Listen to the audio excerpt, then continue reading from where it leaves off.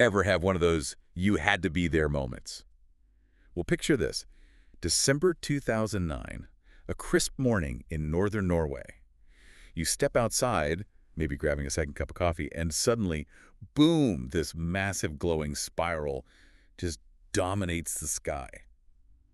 Not your average sunrise, huh? No, not at all. And this wasn't some blurry UFO photo either. We're talking thousands of people witnessing this thing firsthand. Okay, so what did this thing actually look like? I mean, paint a picture for me. Eyewitnesses described it as this colossal white spiral just hanging there against the dark sky. Imagine a celestial whirlpool, but instead of water, it's this ethereal white light. And from its center, there's this vibrant blue beam just shooting out, like something straight out of a sci-fi movie, really. It's no wonder people were well, captivated, even a little terrified, I'd imagine. I bet. I mean, this was before we had, is it a bird, is it a plane? Videos popping up every other day, right? yeah. This was a massive visual anomaly. People must have come up with some wild explanations, right? Mm -hmm. Absolutely, yeah. Theories ranged from portals to other dimensions, all the way to secret government experiments. You know, it really highlights how quickly speculation can run rampant, especially when something that seems inexplicable happens on such a grand scale. It really makes you realize how deeply ingrained that fear of the unknown is, you know, especially when it feels like the sky itself is trying to tell us something. Mm. But like most things that sound too bizarre to be true, there turned out to be a somewhat more terrestrial explanation for the Norway spiral. Indeed. It took a bit of international back and forth, but it was eventually confirmed that what everyone saw was actually caused by a failed Russian missile launch.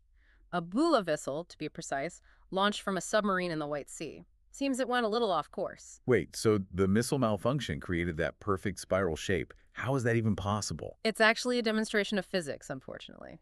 Basically, the rocket didn't follow its intended trajectory. As it spun out of control, venting fuel, it created that mesmerizing, albeit unintentional, spiral effect. Okay, so not aliens, but a malfunctioning missile creating a giant light show in the sky. I have to admit that's still pretty wild. But this wasn't just a harmless light show, right? I mean, there were some real-world implications because of this, weren't there? Oh, absolutely. You're right. While the immediate mystery was solved, you know, what is that thing? The incident actually sparked some significant concern within the international community. I mean, think about it. This was a failed missile launch, and that failure played out on a global stage. So even though it wasn't a UFO or a tear in space-time or whatever, the Norway spiral still managed to send ripples across the globe, huh? Precisely, yeah. And the incident sparked serious discussions about, you know, the safety protocols surrounding missile tests. Because if a failed launch could create that kind of spectacle over Norway, what were the potential unintended consequences, even catastrophic ones, right? So this event really forced a lot of people to re-examine those international security protocols and really assess the risks that are associated with these kinds of tests. Makes you wonder what was going through the minds of some of these world leaders as they watched that spiral unfold. Yeah, it's wild to think something like that could expose those kinds of uh, geopolitical fault lines, you know? But even with that explanation, that it was a failed missile launch, some people still weren't satisfied, still clung to those more imaginative theories. Oh, I bet. The internet loves a good mystery, right?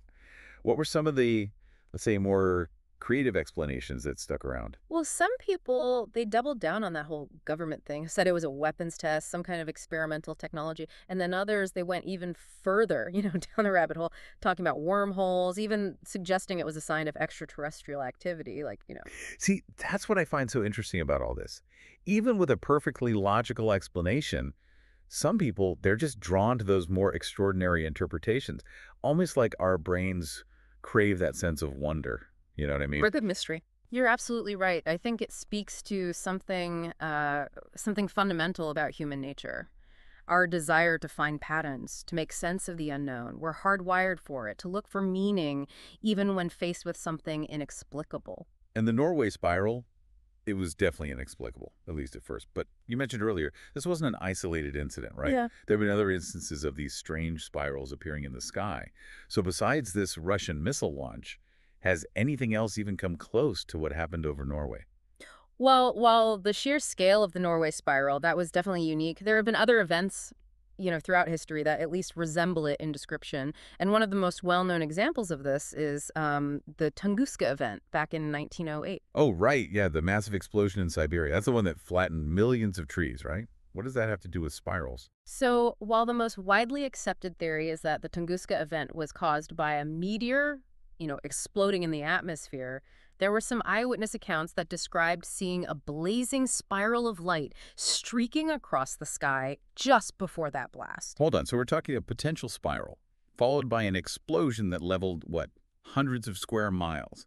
That's a bit more intense than a failed missile launch. It certainly is. And and while there's no definitive link between those spiral sightings and the explosion itself, it's still something that's debated, you know, and speculated about even to this day.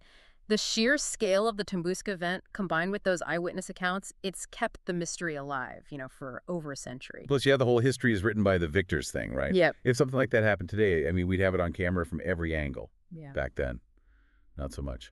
Makes you wonder how many other events like this, unexplained events, just went unrecorded. That's a really interesting point. And, you know, you mentioned lights in the sky earlier, and there is another phenomenon, also in Norway, as a matter of fact, that's generated its fair share of head scratching the Hessdalen lights.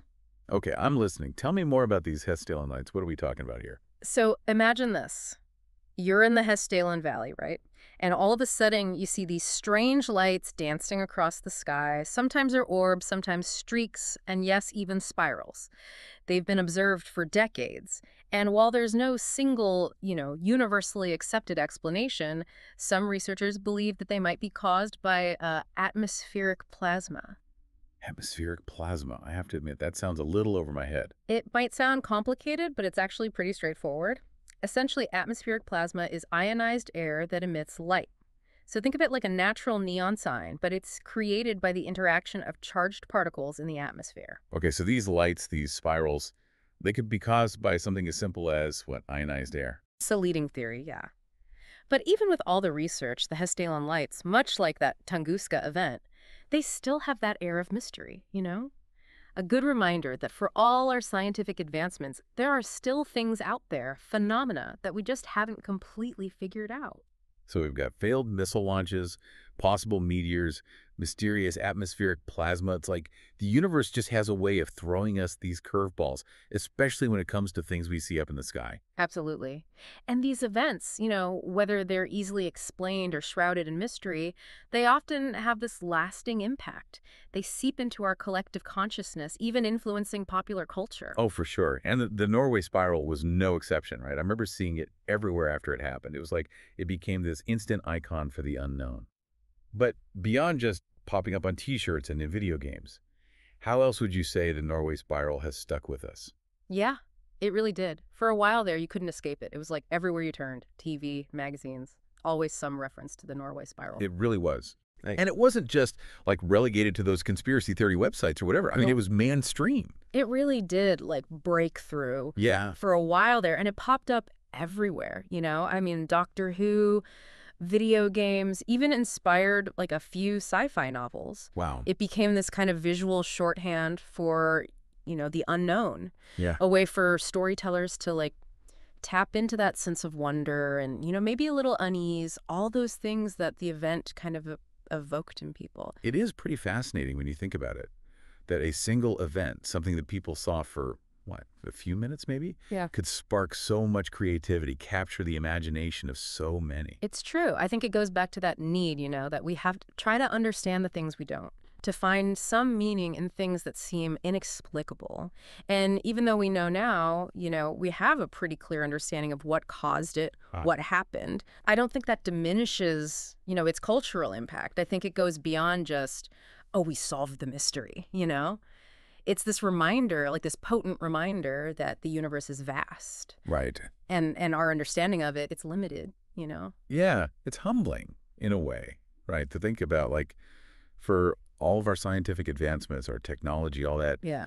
we could still be, I don't know, caught off guard by the universe, I guess. Yeah. Like its ability to just create something so unexpected, so visually, I don't know, arresting, you know? And it's true. And while, you know, it might not have been an alien mothership or some tear in the fabric of reality like Mhm. some people thought at the time, Yeah. it did, I think it forced us to confront, you know, that unknown, to question what we thought we knew, and also just to, I don't know, to marvel at it a little bit. Yeah. At the sheer beauty and the power of, you know, the natural world, even if that power was, in this case, you know, accidentally unleashed.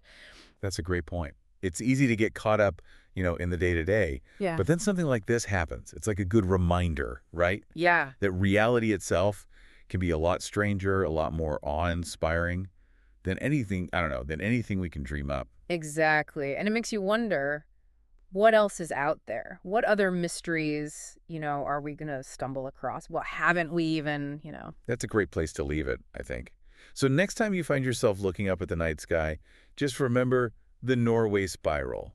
It's a reminder that even in our, you know, hyper-connected, like information-saturated world, there's always something new to discover.